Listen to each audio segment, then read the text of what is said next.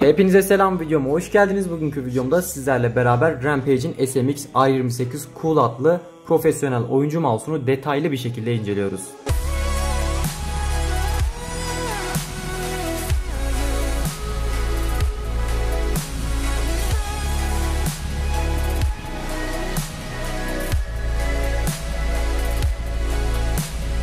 Fiyatına oranla kutu tasarımı olsun, teknik özellikleri olsun, ürünün kendi tasarımı olsun gayet başarılı. Zaten bu detayları kutudan çıkardıktan sonra değineceğiz. Öncelikle kutusu çok güzel olduğu için kutusundan biraz bahsetmek istiyorum. Ürünü satın aldığınız zaman karşınıza direktmen şöyle bir e, askeri kutuya benzer bir kutuyla geliyor. Ürünün kendi baskısını görebiliyorsunuz. Model ismi RGB olduğunu vurgulamışlar. Ancak sol alt tarafta da 13 renk desteklendiği söylenmiş. Buna birazdan bakarız zaten. A825 bir chipsetimiz bulunuyor. Programlanabiliyor. 7200 dpi çözünürlüğe sahip bir sensörümüz bulunuyor. Yazılımı ile beraber de 12800 dpi'ye kadar yükselebiliyor. Kutumuzu çok güzel bir şekilde açabiliyoruz. Şu sesi size dinletmek istiyorum.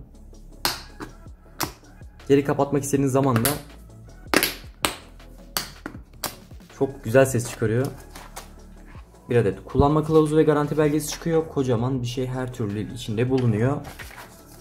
Mouse'un kendisi de bu şekilde yer alıyor. Ben mouse'u 1-2 gün kullandım. Ardından aynı şekilde kutuladım. Sizlere o hissiyatı yaşatabilmek açısından. Malzeme kalitesi falan bayağı iyi bu arada. Renkler de kapalı renkler olduğu için güzel gözüküyor. Bunun dışında pek de bir şey bulunmuyor. Mouse'umuza gelelim. Ürünü ilk aldığınız zaman USB başlığında bir koruma bulunuyor. Zarar görmesin diye plastik bir kap takmışlar. E, ürün bayağı bir premium algı e, bırakıyor üstünde. Tak çalışır şekilde kullanabiliyorsunuz. Bunun dışında örgü kablomuz yer alıyor. Onun da kalitesinden bahsetmek istiyorum. Kablo çok yumuşak bir kablo değil. Sert bir kablo, örgü bir kablo. Kalitesi çok yeterli. 1.75 metrede bir uzunluğu bulunuyor. Uzunluk açısından herhangi bir sıkıntı yaşamadım. Ek olarak kablonun uzunluğunun tamamını kullanmayacaksanız kısaltmanız için gerekli aparat da burada yer alıyor. Gerekli Cırt cırt da burada yer alıyor. Bununla kısaltabiliyorsunuz. Mouse'un çok klasik bir tasarım bulunuyor. Baktığınız zaman aman aman çok farklı hissettiren bir tasarımı bulunmuyor. Ee, sol tarafına baktığınız zaman standart ABS plastik bulunuyor. Herhangi tırtıklı bir yapı kullanılmamış parmağınız kaymasın diye ancak yine de parmağınız yapışıyor. Parmağınız kaymıyor kolay kolay. Arka arkaya iki adet tuş görüyorsunuz. Bu tuşları dilediğiniz gibi makro programıyla ayarlayabiliyorsunuz. İşlevlerini değiştirebiliyorsunuz. Tuşların tıklama hissiyatı çok güzel. Geri bildirimi çok güzel ancak arkadaki tuş biraz fazla içeri giriyormuş gibi hissettirdi bana. Ancak yine de sesleri olsun, geri bildirim hissiyatları olsun, kaliteleri olsun bence e, sınıfının biraz daha üstünde. Şunu da belirtmek istiyorum. Sağ ve sol taraftaki plastik malzemenin ele verdiği hissiyat çok da başarılı değil. Ancak çok fazla parmak izi yapmıyor zırt pırt mouse'u temizlemek zorunda kalmıyorsunuz. Tabii ki orta kısmı için aynı şeyi söyleyemem. Mat bir renk olduğu için çok fazla parmak izi yapabiliyor. RGB şeritlerimizi görüyoruz. Ortada bir Rampage logosu bulunuyor. Bu da ışıklı olarak çalışıyor. Aynı şerit sağda da devam ediyor. Zaten ışıklarına birazdan değineceğim. Alt tarafına baktığımız zaman da altı da bu şekilde görüyorsunuz. Kablomuz da hemen orta taraftan çıkış yapıyor. Dilerseniz bir bilgisayarımıza bağlayalım bir de ışıklarından bahsedelim. Çok ufak bir şekilde mouse'un yazılımına bir göz atalım. Ekran kaydı alamıyorum maalesef. Yani monitörün kaydını şu anda alamıyorum. Yazılımdan kaynaklı hata alıyorum. O yüzden kamerayı e, ekrana çevirmek zorunda kaldım. Umarım okunaklı olur. Dostlar yazılımı indirdiğiniz zaman 19 MB'lık bir boyutta karşınıza çıkıyor. Kolaylıkla indirip kurabiliyorsunuz. Direkt sol alt taraftan başlayalım. Office, Oyun 1, Oyun 2 ve Medya olarak toplam 4 tane mod bulunuyor. Bu modlar arasında değişiklikler yapabiliyorsunuz. Game 1 moduna farklı özellikler atayabiliyorsunuz. Tuşların özelliklerini farklılaştırabiliyorsunuz. Veya ofiste de bunu farklı bir hale getirebiliyorsunuz. Örnek veriyorum 6. tuşa DPI tuşu özelliği dışında bir özellik atayacaksınız. Game 1 sekmesine geliyorsunuz.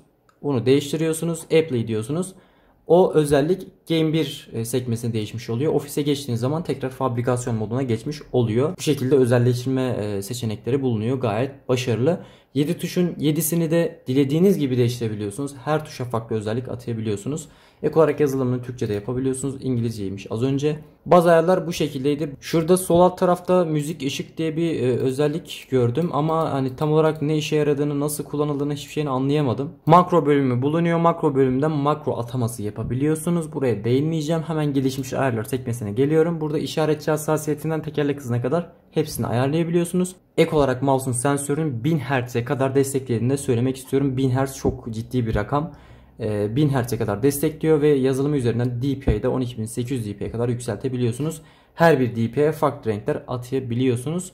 Burada pek bir şey yok. Direkt detaylarına geliyorum. Şimdi gelin beraber ışık modlarına bakalım. Ardından sensör kalitesinden, switch kalitesinden bahsedip videoyu kapatalım. En üst sekmeye geldim. DPI nefes özelliğini seçtim. Bakalım nasıl bir modmuş.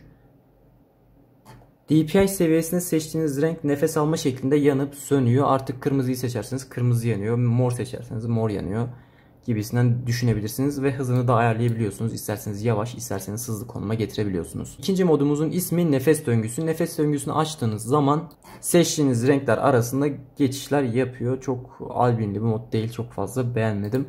Üçüncü modumuzun ismi sürekli olarak geçiyor. Hemen uygula diyorum. Sürekli modda bir tane renk kendi kendine sabit yanıyor. Müdahale etme şansınız bulunmuyor. Dördüncü modumuz akan su modu. Açtığımız zaman hemen şöyle izleyelim. Evet bu da güzel bir mod sayılabilir. Bunda farklı modlarda bulunuyor. Simetri özelliğini açabiliyorsunuz. Saat yönünde modunu açabiliyorsunuz. İki yol modunu açabiliyorsunuz ve sihirli kadın diye bir mod e, seçeneği geliyor bu modu açınca. O nasıl oluyormuş bakalım. Bu daha güzel yapıyor. Bir simetri falan var. Simetrik olarak tersine de çevirebiliyorsunuz. Güzel yani. Modların içerisinde de mod değiştirebiliyorsunuz. Yani modların modlarını değiştirebiliyorsunuz. Güzel bir özellik. Tek su modu bulunuyor. Bu da sadece aşağı doğru akıntı şeklinde oluyor. Kuyruklu yıldız var. Kuyruklu yıldız zaten birçok mouse'da bulunuyor. Tanıyoruz bu modu. Modların 5'te 3'ü birbiriyle benzer diyebilirim. Çok aralarında farklar bulunmuyor. Bu da neon modu. Neon modu güzel bence. Hızını ayarlayabiliyorsunuz şu an en hızlı konumda. Çok tatlı tatlı renkler değiştiriyor. Ambilight modu bulunuyor. Uygula diyelim. Hemen bakalım nasıl bir modmuş. Evet genelde RGB mouse'larda sıklıkla kullandığım modlardan bir tanesi. Bence RGB mouse'larda göze en çok hitap eden modlardan bir tanesi bu.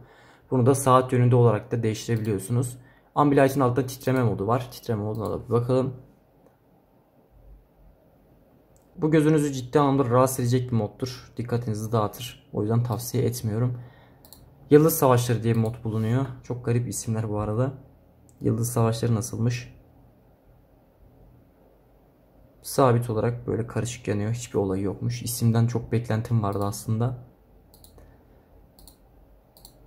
Akan su, tek su modlarını geçtik. Şimdi normal su moduna geldik. İsimler gerçekten çok garip. Su modunu açtık şu anda. Evet böyle dalgaymış gibi bir görüntü, görsellik oluşturuyor. Yine çok bir olay yok bunda da. Bu modda sevinç içinde diye geçiyor. Gözünüzü ciddi anlamda rahatsız edebilme potansiyeline sahip.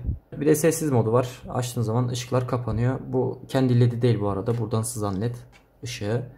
Bunun dışında pek bir şey yok. Yani modlar çok fazla ama hepsi birbirine çok benzer. Çok ciddi farklar aralarında bulunmuyor. Işık altında olmasına rağmen ışıklandırma kalitesi yeterli. Parlaklıklar e, gayet güzel ayarlanmış. Yani yüksek ışık altında da ışıklarını görebiliyorsunuz.